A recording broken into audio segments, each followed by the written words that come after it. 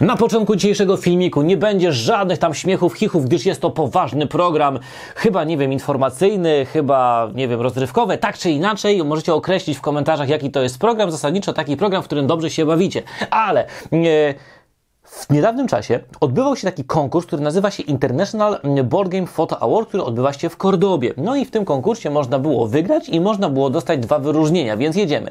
Pierwsze miejsce zajęło to oto zdjęcie kapitalne, gdzie starszy pan, domyślnie chyba z nóżkiem albo z jakimś młodym człowiekiem, gra sobie w szachy, pan gra figurkami szachowymi, a młody człowiek swoimi ulubionymi figurkami, tudzież zabawkami. Bardzo dobry pomysł, który został w tym zdjęciu sprzedany, jak można młodych ludzi do takich gier logicznych wprowadzać. Naprawdę serdecznie polecam skorzystać ja z Anią będę to testował. No i teraz jedziemy do wyróżnień. E, mamy takie wyróżnienie za oto zdjęcie, gdzie pewna pani w basenie chwyta taki totem, więc duże poświęcenie. Nie mam pojęcia dlaczego, co po niektórym osobom, którym pokazywałem to zdjęcie, zupełnie nie byli w stanie zobaczyć dobrze przecież wyeksponowanego totemu. Może napiszcie mi w komentarzach, co się mogło tutaj stać. No i e, zdjęcie dla nas najważniejsze, e, gdyż tutaj będzie e, polski patriotyzm, Polka z tej ziemi, czyli Alicja e, Pendry, Welgralutka, e, której proszę, żebym ja to umieścił w opisie do tego filmiku. Macie Instagram, macie YouTube e, i możecie sobie e, poklikać, zobaczyć, jakie piękne zdjęcia Gralutka robi. E, bardzo proszę, to jest jej zdjęcie, czyli piękny azulowy kwiat, który również dostał wyróżnienie. Dlatego my tutaj w Trollu po polsku Ci zazdrościmy, że nie potrafimy robić takich zdjęć. Serdecznie gratulujemy Tobie zdjęcia, wyróżnienia i talentu. I cóż, będziemy Twój Instagram od tej pory bardzo, ale to bardzo mocno przeglądać. Rewelacyjne zdjęcie. Ja to zdjęcie zobaczyłem zanim w ogóle dowiedziałem się, że był jakiś konkurs i bardzo mi się spodobało. Ściągnąłem sobie na telefon i tak sobie co jakiś czas, nie wiem, patrzyłem. Klaudii pokazała, ona też powiedziała, o wow, jakie fajne, a później właśnie dowiedziałem się, że to jest zdjęcie nagrodzone w konkursie. Dlatego bardzo serdecznie gratulujemy. Dzisiejszy suchar taki bardzo mocno dosadny, ale no nie sposób się z tego nie zaśmiać. Uwaga, jaka jest różnica między Polską a Titanikiem? Titanic, kiedy szedł na dno, miał prąd, światło i węgiel. No wiem, że złe, ale no, ale dobre, no.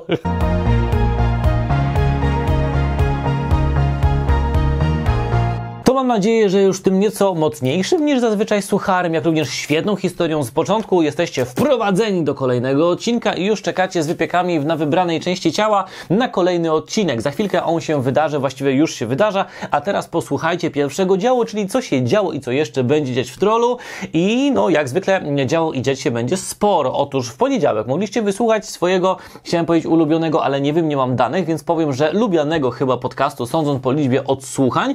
Podcast nazywa nazywa się Janert, jest prowadzony przeze mnie, no i częstotliwość e, często jest e, proszona przez Was, żebyście zwiększyli, nie, bardzo nie po polsku to powiedziałeś, bardzo prosicie, żebyście, żebym ja zwiększył częstotliwość tych podcastów. E, zobaczymy, co się da zrobić. Na razie chciałbym, żeby ten podcast zachował pewną świeżość, żebym przeżywał różne przygody, historie, żeby było o czym Wam po prostu gadać, więc na razie zostawiamy sobie co dwa tygodnie.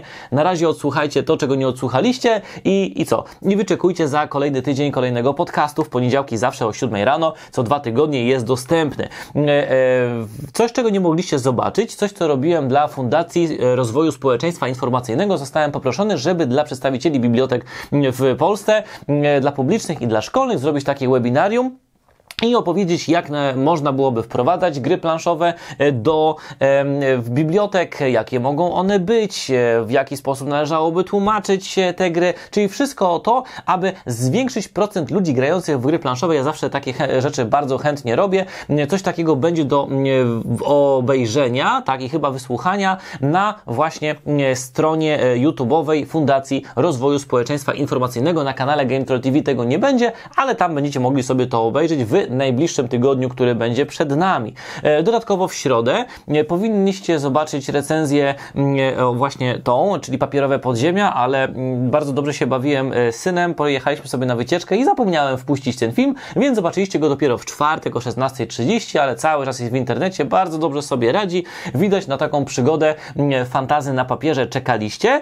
Kolejna rzecz, która będzie dopiero, i, czyli w jutro, w niedzielę od godziny 8.30 na kanale zobaczycie, ponieważ tych rzeczy się sporo nazbierało i chcieliście taki film, więc bardzo proszę, najlepsze gry mm, typu Roll and Ride, ale również Paper and Pencil pojawią się jutro na kanale i nawet już sobie zaplanowałem jeszcze kolejny odcinek na następną niedzielę, chociaż to już będzie kalendarium, ale tak czy inaczej w najbliższej przyszłości ukaże się również film o najlepszych grach planszowych, w których osiągacie zwycięstwo nie na punkty. Taki inteligentny, ciekawy filmik, do którego mnie zachęcacie, również się pojawi, aczkolwiek no, jeszcze jakieś dwa tygodnie pewnie trzeba będzie poczekać. No i ostatnia rzecz, w najbliższy poniedziałek o godzinie 20 zaproponowałem Wam jak zwykle dwie gry do wyboru. Zwyczaj proponuję trzy, teraz dwie, bo jednej nie mogłem wymyśleć, więc miałem taką nowinkę, nowość Star Wars, nowy Pandemic e, plus Robinson Crusoe i zapytałem, co chcielibyście zobaczyć zobaczyć na kanale. No i okazało się, że chcieliście zobaczyć nie nową grę, tylko starszą grę, więc pogram sobie w o 20 na streamie w Robinsona. Serdecznie Was na ten stream zapraszam. No i na tym streamie e, proszę się nie śmiać. E, ja w Robinsona e, swojego czasu dosyć sporo grałem, ale nie udało mi się przejść pierwszego scenariusza. Tak więc będę chciał, żeby na tym streamie ten wredny wreszcie płomień korzeń zapłonął i mam nadzieję zrobić to z Waszym udziałem. Tak więc o 20 w poniedziałek zapraszam na stream streama z gry pod tytułem Robinson Crusoe. Spróbujcie, pomóżcie mi, pomęczmy się razem. O, tyle takich informacji wprowadzających, a teraz zapraszam już na odcinek, czyli jedziemy do przeglądu gier. Gra z nutką historii alternatywnej w tle. Mianowicie jest to gra pod tytułem Miasta Luny, gra, którą otrzymałem dzięki uprzejmości wydawnictwa Galacta. No i teraz tak, Miasta Luny jest to gra, gdzie e, będziemy przenosili się do roku 1977. Nie zostajemy na Ziemi, tylko będziemy na Księżycu. I w tym 77 roku ludzkość ma już możliwości techniczne i oczywiście chęć do tego, żeby zasiedlić e, naszego jedynego satelitę. I ten nasz e, nieszczęsny, ponieważ dostanie ludzi satelita, będzie na nim e, budowa trwała różnych kolonii. Te różne kolonie, czyli stacje, e, będą się rozwijały. Gracz, który będzie miał najlepszą, najwspanialszą kolonię, oczywiście zostanie zwycięzcą, a w świecie gry to jego stacja stanie się stolicą, więc będzie piękna, bardzo wypaśna. Różne takie roboty będą tam popylały. No zasadniczo będzie wygranym. Miasta Luny, nietypowy tytuł. Zobaczcie, co jest w środku. Miasta Luny to w sumie jedno z marzeń ludzkości. Osiedlić coś, najlepiej człowieka, poza swoją macierzystą planetą. Aby to zrobić, będziemy musieli budować i to jest jeden z takich elementów gry, który bardzo lubię. Mamy dostępne moduły podstawowe, moduły mieszkalne, lądowniki księżycowe, roboty kosmiczne, apartamenty i inne. Obok tego, że wszystko rozwija nasze zdolności i pomaga nam w grze, to za większość możemy dostać punkty, a te są potrzebne do wygranej. Zasady prosto chyba opisać. Gra potrwa trzy fazy, a każda z nich składać się będzie z czterech rund. Łącznie więc gracz wykona 12 rund. W swojej rundzie będziecie zagrywać kartę obszarów, rozwijać swoją kolonię, dając jej nowe możliwości pod rozwój. Następnie pozyskane w tej rundzie kafelki będziecie kładli na tych kartach i tak będziecie budowali swoją kolonię na Księżycu. Koniec zasad. I jak się idzie domyśleć, punkty na końcu gry dostajecie za rozmieszczenie wszystkich elementów na waszych kartach. Kto ma czegoś więcej, też ma znaczenie, więc musicie skupiać się nie tylko na budowie tego, co macie przed wami, ale też to, co można zabrać komuś, żeby gra za dobrze mu nie szła. Miasto Luny jest to więc karciano-kafelkowiec. Jeśli lubicie takie średnio zaawansowane wersje tego rodzaju gier, to spójrzcie na Miasta Luny. Gra ma niecodzienną dla kafelkowców tematyka, rysunki i elementy 3D. Następna gra, przysłana tym razem przez wydawnictwo Lucky The Games, niespecjalnie pozwoli nam się ruszyć z Księżyca. Dlaczego? Ponieważ gra nazywa się Sky Mines i jest to gra, która no, utrwala e, takie pojęcie o mm, prywaciarzu, które chyba najlepsze w Polsce nie jest. Otóż uwaga, dawno, dawno temu istniał sobie taki pewien rząd centralny na Ziemi i ten rząd centralny wiadomo, że najlepszy, ponieważ centralny skupia wszystko w jednym ręku i takie rządy są najlepsze i ten rząd centralny również mm, na Księżycu e, trzymał e, za rękę i za puls i za wszystko, co może, takie wydobycie. I ludziom żyło się dobrze, ludziom żyło się dostatnie wtedy i to było bardzo, bardzo dobre. Ale w wyniku niepokojów na Ziemi to się wszystko rozleciało, ten rząd jest, ale nikt właściwie się ich nie słucha i teraz temat wydobycia na tym księżycu przejęły wredne, pazerne, prywaciarskie korporacje i te właśnie korporacje zajmują się e, tym wydobyciem. My wcielamy się nawet nie przedstawicieli tych korporacji, tylko osoby, które będą inwestowały w te korporacje i no właśnie, będziemy musieli jak najwięcej na tym wszystkim zarabiać, czyli będziemy jeszcze stali za korporacjami. Gra z gatunku cięższa i nie tylko w formie fizycznej, ale również na podstawie tego, co możemy z gry dostać, kiedy już ta leży na stole. Ciekawy tytuł, ale zobaczcie, jak to wygląda. Jeśli chcecie poznać ciężkość gry Skymines, musi Wam coś dać informacja, że jeden z autorów gry, Alexander Pfizer, stworzył takie gry jak Great Western Trail czy Moon Lake, co plasuje go na wyższej półce ciężkości tytułów planszowych. Gra ma dwie wersje podstawowa i zaawansowana. Podstawowa dobrze zrobiona po to, aby nieco lepiej opanować zasady w grze i móc przeskoczyć na pełną wersję bez trzymanki. Samo przygotowanie do gry w instrukcji zajmuje cztery dość mocno zapisane strony, ale jest przynajmniej mocno klarowne. Naszym celem jest zdobycie jak największej liczby kryptocoinów poprzez inwestowanie w cztery korporacje. Inwestując w zasoby, zwiększamy udział w korporacjach, a umieszczając placówki korporacji, zwiększamy ich wartość. Taki suchy opis, a jak wygląda to w praktyce? Rozgrywka trwa 7 rund, każda ma trzy fazy. Najpierw planowanie, czyli zagrywanie kart tak, by nikt ich nie widział, potem odkrywacie i wprowadzacie działania kart w życie.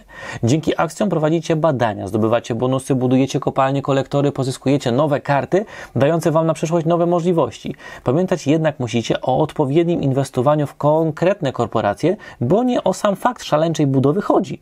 Musi Wam się to wszystko opłacać, więc takim inwestowaniem Czasem i przeciwnicy potrafią pomóc.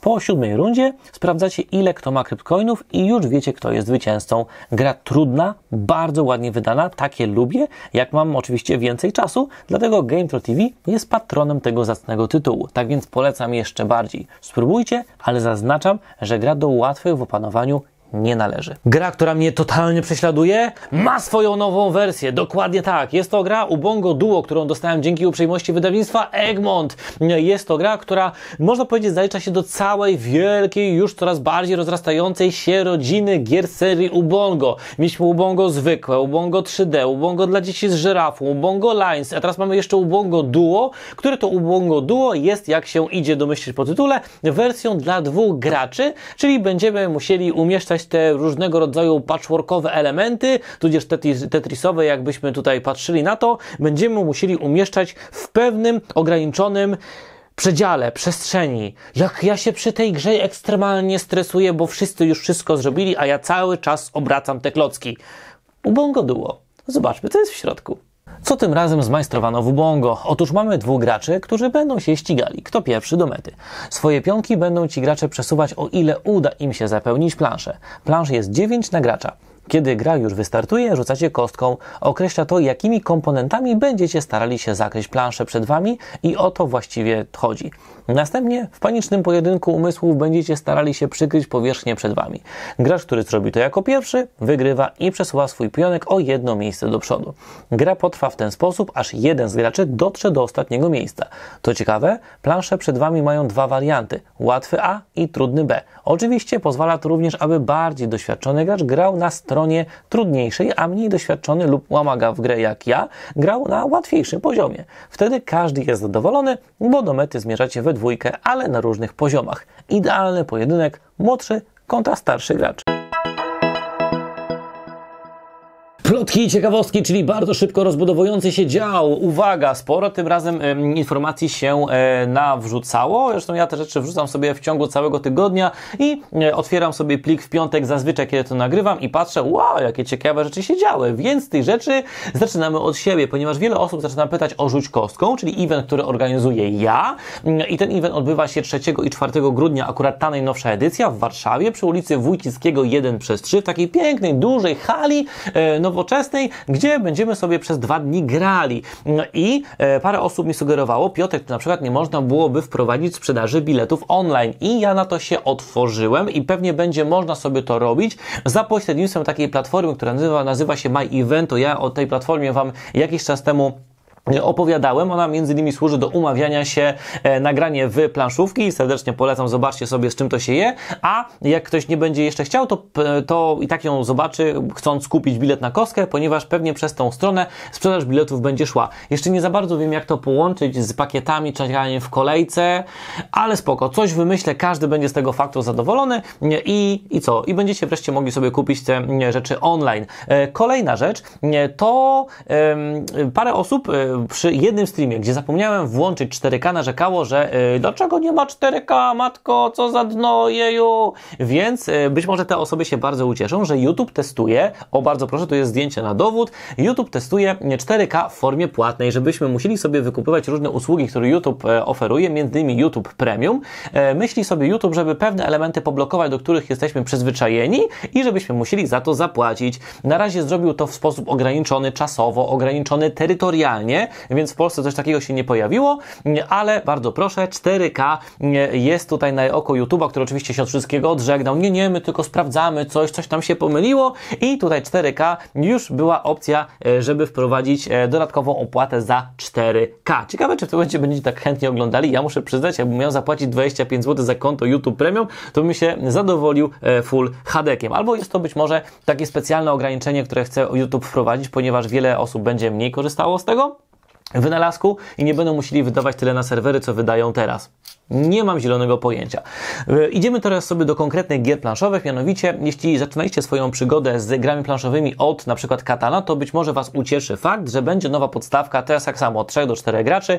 E, Katan Świt Ludzkości, tylko tym razem cofniemy się bardzo mocno pre i będziemy mieli neandertalczyków, będziemy mieli mm, tygrysy szablozemne, czyli bardzo proszę, nowy, odświeżony Katan się pojawi i co ciekawe, mm, też przy okazji się mm, dowiedziałem, że będzie również w tym lub następnym miesiącu książka książka. Książka o katanie, dokładnie jest to Klaus Euber i to nie będzie książka o samej grze, tylko książka taka, wiecie, normalna do poczytania, fabuła itp. E, przeniesiemy się do świata wikingów, 860 rok, e, poznajemy tam dwóch wikingów, którzy coś tam nabroili, muszą uciekać z tego swojego e, pięknego świata i trafiają na łodziach, gdzie? No właśnie, do Katanu. No i kolejna rzecz, Splendor Pojedynek został pokazany tutaj na Essen. Rebel bardzo szybko zapowiedział tę doskonale sprzedającą się grę w Polsce, że również Splendor Pojedynek będzie u nas w rodzimym języku. Aktualnie Rebel prowadzi przed sprzedaż. E, Carlos poczynił doskonałą uwagę i bez względu na to, czy się zgadzamy, czy nie zgadzamy, trzeba docenić kunszt tej uwagi. Carlos powiedział, że bardzo się ucieszył, że Splendor będzie na dwie osoby, ponieważ tylko dwie osoby będą się musiały w to męczyć. Tak czy inaczej, Splendor na dwie osoby będziecie mogli sobie mm, tę grę y, kupić i pograć. W poprzednim tygodniu powiedziałem Wam również o tym, że wydawnictwo Lucrum tutaj zapowiedziało karciankę e, w świecie Torgala. Wszyscy się strasznie podniecili. Ci, co się nie podniecili, powiedzieli, e, Piotrek, nie powiedziałeś o portalu, więc mówię, że portal również będzie wydawał grę o Torgalu. Na razie ani jednej, ani drugiej gry nie ma, ale są na przykład pusle tysiąc sztuk Torgal, żeby Wam umilić mm, ten czas e, na czekanie i żeby uzupełnić mój e, post z poprzedniego tygodnia to bardzo proszę, mamy takie e, tysiąc elementowe puzzle. Możecie sobie wypełnić czekanie na jedną z tych dwóch gier układaniem tych puzli kilka razy, kilka razy, aż w końcu te gry będą u nas na stołach. No i ostatnia informacja, e, tym razem wieści z naszej księgarni, ponieważ nasza księgarnia wydaje również kapitalną grę, która nazywa się Draftozaur. E, ja, moja córka uwielbiamy tę grę i w listopadzie już będzie można sobie zakupić do tej gry dwa dodatki. Dokładnie dodatki nazywają się Playozaur, więc będziemy pływali razem z dinozaurami i drugi e, pterodaktyle, czyli będziemy sobie latali. Nowe plansze, nowe mechaniki, e, nowe figurki e, tychże dinozaurów, więc bardzo proszę, takie rzeczy, cuda dzieją się w świecie gier planszowych. Przynajmniej te, które wyłapałem. O! Blue Screen Corner, czyli dział, w którym opowiadam o grach komputerowych, które nie mają nic wspólnego z grami planszowymi lub czasami dotykają lub dopiero będą dotykać tematyki gier planszowych. E, więc w tym tygodniu, kiedy zacząłem się bawić w nową grę, oczywiście nowa gra, jak być może już teraz kojarzycie z tego, co jest wyświetlane, jest to znowu gra survivalowa. Uwielbiam tego rodzaju tytuły, dlatego się bardzo cieszę, że jedna z moich ulubionych gier survivalowych, czyli Green Hell, została splanszowiona i właściwie już nawet chyba powinna być nawet, ale cały czas jeszcze czekamy. Tak czy inaczej. Kolejną grą, za którą się wziąłem w tym tygodniu jest gra Grounded, gdzie e, będziemy mieli odniesienie do filmu, który bardzo lubiłem e, swojego czasu, będąc młodym człowiekiem. Ten film nazywał się Kochanie, zmniejszyłem nasze dzieciaki, chyba tak to się nazywało, gdzie do dzisiaj przeżywam tą scenę, jak ta mrówka o Jezu, to jest za trudne, żeby po prostu o tym mówić, ale tak czy inaczej, był to jeden z moich ulubionych filmów dzieciństwa. No i teraz bardzo proszę, mamy grę Grounded, w której znowu jesteśmy jakąś tam grupą dzieciaków, która zostaje zmniejszona i jesteśmy rzuceni w ten nieprzyjazny świat, w którym są jakieś, wiecie, tu biedronki wredne, tu jakieś takie mrówki, tu jakieś ryby gigantyczne pływające, wszystko nas chce zeżreć, żyjemy sobie po prostu w ogródku, ale będziemy mogli sobie w tym ogródku przeżyć, gdyż będziemy się kraftować, będziemy budowali jakieś bazy, twierdze, będziemy strzelali do tych różnego rodzaju stworów. Będziemy zapuszczali się na w sumie taki nie największy obszar, ale on w świecie gry będzie bardzo duży i będziemy pozyskiwali coraz to nowe rzeczy. W tym wszystkim również jest fabuła, co mnie bardzo zachęciło do tego rodzaju survivala ponieważ większość survivali skupia się na tym, żebyśmy po prostu przeżyli, ale właśnie na przykład taka gra Green Hell ma jeszcze do tego wszystkiego fabułę, mniej czy bardziej zarysowaną, ale w grze Grounded ta fabuła jest, jest dużo, dużo bardziej e, widoczna, istotna. Gra jest przekolorowa, przefantastycznie rozbudowana. Uwielbiam w to grać, bardzo mi się to spodobało. A mówię o tej grze, ponieważ wiecie, jakaś tam plotka mniejsza czy większa niesie, że zostały również sprzedane prawa do tego, żeby ta gra, która osiągnęła bardzo duży sukces, została również z planszą Wiona, więc ja sobie będę grał i będę czekał, aż pojawi się kiedyś na jakiejś platformie, może wspieraczkowo-kickstarterowej, nie mam zielonego pojęcia e, ta gra i kto wreszcie ją będzie wydawał w wersji planszowej, ale kiedy się pojawi, na pewno się zainteresuje i na pewno Wam powiem. Na razie jest wersja komputerowa, jak szukacie dobrego survivala, to Grounded, świetny. Gra, która absolutnie, totalnie musiała się pojawić w dzisiejszym ocalecie od zapomnienia. Dlaczego? Ponieważ, słuchajcie, mamy 25-lecie e, Fallouta. Dokładnie tak. E, kapitalna gra Briana Fargo i studia oczywiście, która jest e, stworzyło, obchodzi 20, 25 lat, więc my również jako planszówkomaniacy mamy też swoje trzy grosze do dołożenia. Ten świat był tak popularny, że kilka gier bitewniak, wersja przygodowa, ale również wersja otaka pojawiła się, pojawiła się i możemy w nią grać. To jest gra Fallout Shelter, która odnosi się do gry Fallout Shelter o tym samym tytule, którą za darmo możecie na komórkę, tudzież na różnego rodzaju platformy, na przykład Steam sobie ściągnąć i będziecie robili co? Będziecie nadzorcą w waszym e, schronie. Była sobie taka firma, czyli Voltek, e, która jak się później okazało robiła różnego rodzaju eksperymenty e, społeczne na ludziach, tworząc te schrony, grupując ludzi o odpowiednich, nie wiem, grupach, preferencjach itp. itd. Teraz nie będziemy wchodzili w fabułę gry Fallout, ale no waszym zadaniem jest przynajmniej w tej grze worker placementowej, e, będąc na czele jakiejś tam grupy, e, będziecie musieli pokazać, że jesteście jak najlepszym nadzorcą. Gracz, który pokaże, że jest jak najlepszym nadzorcą w tym schronie podziemnym po wojnie atomowej, aby ktoś jeszcze e, nie wiedział o co chodzi w Falloutie, ten gracz, który będzie najlepszym takim nadzorcą, ten zostanie już takim głównym nadzorcą, ponieważ ten tutaj nadzorca, no niestety umarł i my musimy go nastąpić, tylko musimy pokazać, że jesteśmy najlepsi. Bardzo fajna, bardzo ciekawa gra, doskonale wydana, tu blaszane pudełko w środku też pięknie wygląda, co mam nadzieję Wam pokazałem. Rewelacyjne figureczki, prosty, lekki worker placement, od tak e, jako przerywnik pomiędzy mocniejszymi tytułami, zbyt dużo czasu Wam nie zajmie i to jest e, moim zdaniem również zaleta tego lekkiego worker placementowego tytułu. Jak ktoś lubi grę Fallout, na pewno coś takiego fajnie, żeby znalazło się w jego kolekcji. Dodatkowo e, skorzystam z informacji, żeby powiedzieć, że na przykład na Epiku, jakiś czas temu mogliście sobie za darmo pobrać e, grę Gloomhaven, na Epiku teraz można za darmo, kompletnie, totalnie pobrać pobrać sobie Fallouta trójkę, e, wersja, e, wydanie roku, e, czy edycja roku, która zawiera wszystkie, absolutnie wszystkie dodatki do tej gry. O, ja akurat Fallouta trójkę bardzo lubiłem i cieszę się z czegoś takiego, co już posiadam od jakiegoś czasu, a teraz Wy również z tego możecie skorzystać. Ale tak czy inaczej, Fallout Shelter, gra, która też nie otrzymała takiego gigantycznego zainteresowania, jaki moim zdaniem ta gra zasługuje. Może teraz coś się troszeczkę zmieni. Grajcie Fallouta Shelter, bo to jest dobra i nie taka droga gra. Tej kuźni graczy, tak jak zresztą ostatnio w kuźnia graczy, będę raczej prezentował nie konkretne gry, a raczej taki model, e, który wypracowuję ze swoimi dziećmi, wciągając im świat gier bez prądu. E, więc większość tych moich eksperymentów opisuję Wam na podstawie tego, co e, działo się z moją córką i jakie wprowadzałem. Ostatnio zacząłem pewne rzeczy, które robiłem z Anią, robić tak samo z Tymkiem i muszę powiedzieć, że nie, to nie działa. Do każdego trzeba dobrać inną metodę, do mojego syna również, ale na razie wracamy do ani, a dokładnie tego czegoś fajnego, że moja córka e, bardzo lubi bajki, bardzo lubi, kiedy jej czytamy, opowiadamy historię. Ostatnio streszczam jej całą masę gier komputerowych, fabuł e, i filmów, które czytałem, bo po prostu lubi ciekawe historie. E, ale też chciałem, żeby moja córka uczestniczyła, żeby współtworzyła te historie na dobranoc i oczywiście zacząłem jej pokazywać różne rzeczy, tak, nie oceniajcie od razu, zacząłem jej pokazywać różne rzeczy, zacząłem jej opowiadać te historie z takiego elementu, którym zasłaniają się mistrzowie gry, pokazywać je oczywiście wcześniej, te elementy, wprowadzając jakieś takie proste elementy mechaniczne, kostka, kostek, że czy wykonujesz taką rzecz, a co na przykład byś chciała, żeby, nie wiem, ta królewna, y, ten facet, książę, czy cokolwiek, co sobie opowiadamy, zrobił, zrobiła i nagle okazuje się, że na podstawie tych wyborów, które są e, po losowaniu, te historie się zmieniają, są coraz ciekawsze, coraz fajniejsze i to jest super, więc serdecznie Wam polecam. Może niekoniecznie na dedeku oprzeć te Wasze historie czy na książkach, ale po prostu na jakiejś, nie wiem, elemencie wyobraźni, czy weźmiecie sobie książkę, pokażecie ulubione postaci, weźmiecie sobie mechanikę, na przykład stąd uprościcie ją, i będziecie poruszali się w świecie, który dziecko dobrze zna za pomocą Wam znanej mechaniki. Ale oczywiście dzieci są wzrokowcami, jak my wszyscy,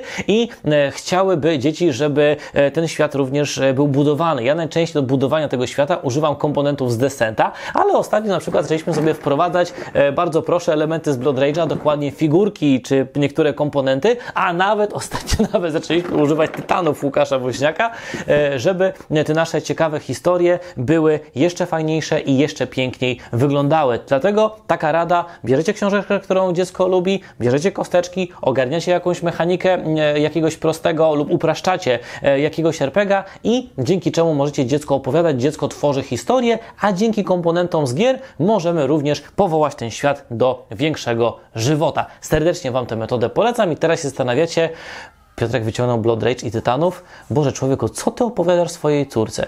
Ciekawe historie, które na pewno zapamięta. Teraz będzie rozprawka o tanich grach, a dokładnie tych, które udało mi się w tym tygodniu znaleźć w zasobach internetowych. Muszę przyznać, że jestem z tego faktu dumny, to znalazłem, więc siadajcie, leżcie dalej, cokolwiek i um, słuchajcie, co Wam przygotowałem. Gra, o której nie mogłem teraz nie powiedzieć, już mówiłem o niej w tym materiale, mianowicie Fallout. Otóż e, ta gra e, ma swoich wydawców w Polsce, a dokładnie mamy dwie wersje Falloutowe z tego, co się orientuję i ja też tak sugerowałem wydawcom, wydawcom e, tym, że słuchajcie, macie grę z Fallouta w ofercie, jest teraz 25-lecie tej gry, więc warto byłoby zrobić sobie jakieś zniżki, więc e, nie mam pojęcia, jaki jest skutek tego, że do niego napisałem, ponieważ e, dokładnie 15 minut zanim zacząłem nagrywać, o, o tym im napisałem, więc na razie to, co mi się udało wyhaczyć, to jest Fallout Shelter za 120 zł na sklepie, w sklepie early.pl early.pl Fallout Shelter za 120 zł do wyhaczenia lub może wydawcy wydawcy, e, którzy mają Fallouta, odpowiedzieli na mój apel i coś tam obniżyli u siebie z gier Falloutowych. Również sprawdźcie, dajcie znać w komentarzach, niech nie tylko wy z tego nie korzystacie. E, dalej, e, kolejna gra, Ubongo. Ubongo, która gra mnie niezwykle irytuje, ponieważ ja tak się wnerwiam układając te rzeczy, ale doceniam jej koszt. W sklepie Bonito za 78 zł Ubongo, czyli taki stres, przynajmniej dla mnie, growy, jest dostępny. Gra, o której mówiłem Wam w poprzednim tygodniu i wiele osób napisało, Ciao! Że tak, grało w Boss Monstera, tak, Boss Monster im się podoba, jest to ciekawy tytuł i um, ktoś mi napisał, że za 42 zł trzecia część tej gry samodzielna, żeby nie było, w Empiku jest do kupienia. 42 zł za Boss Monstera to jest praktycznie wydanie nic, bardzo duża, ciekawa, fajna karcianka, gra się w Boss Monstera, to jest naprawdę bardzo dobry tytuł. No i ostatnia gra, e, którą tak wiecie, rzuciłem sobie okiem e, na te gry, które posiadam i tak patrzę, Wiedźma Skała sobie tam stoi, ja tak, e, wiele osób mi polecało, mówią, że super. Ja w tę grę raz zagrałem, dwa razy razy trzy, może nawet więcej, ale jakoś nie zapamiętałem jej dobrze. E, znaczy nie zapamiętałem dobrze, nie to, że jest zła, tylko nie zapamiętałem, do, nie zapamiętałem dobrze, o czym jest ta gra, więc chcę się wkręcić i chcę tą grę sobie w końcu rozłożyć i pograć jakoś dłużej i tak się mniej więcej nakręcam już od dwóch miesięcy, że w tę grę zagram, ale mogę Wam powiedzieć, że ta gra jest za 114 zł w sklepie 3 kropki, więc być może kiedy Wy zagracie, przeczytacie mi zdjęcie, że gracie, to Wy mnie nakręcicie, tak jak ja Was malowaniem na figurki, malowanie tychże e, na pogranie w Wiedźmia e, Skała. Boże, jakie to było niegramatyczne, co powiedziałem w ostatnim momencie, ale ach, dobiegliśmy do końca tego materiału. Mam nadzieję, że Wam się podobało. Jutro zapraszam serdecznie na 8.30 na gry e, najlepsze, tym razem ze świata Roll and Write-Off, ale również Paper and Pencilu, więc jak zwykle będzie się dużo ciekawego działo na trollu. Dziękuję za dzisiaj i zapraszam na kolejne odcinki Game Troll TV. Trzymajcie się. Hej! Teraz jeszcze taka wzmianka na koniec, bo zapomniałem powiedzieć o tym w odcinku. E, spoko, nie będę z siebie w, nic, w niczym rzucał, wywalał, nic na mnie nie wpadnie teraz. Nie, to nie są wpadki. Otóż w tym tygodniu zostały dostarczone kubeczki do tych wszystkich ludzi, którzy zamawiali kubeczki i tak, plotkę potwierdzam, ja tam gdzieś pisałem w różnych komentarzach, więc teraz potwierdzam, tak, będzie również żeńska wersja kubeczka. Z trolem. Aktualnie e, nasz fantastyczny grafik pracuje nad żeńską wersją trolla i tam wiele pań udziela się, jak ten troll miałby wyglądać, czy wiecie, tutaj taka, tutaj taka fryzurka, tutaj taki kwiatuszek, no zasadniczo będzie ciekawe i ten troll w listopadzie będzie do kupienia. Dokładnie kubeczek z trollicą, wersja żeńska.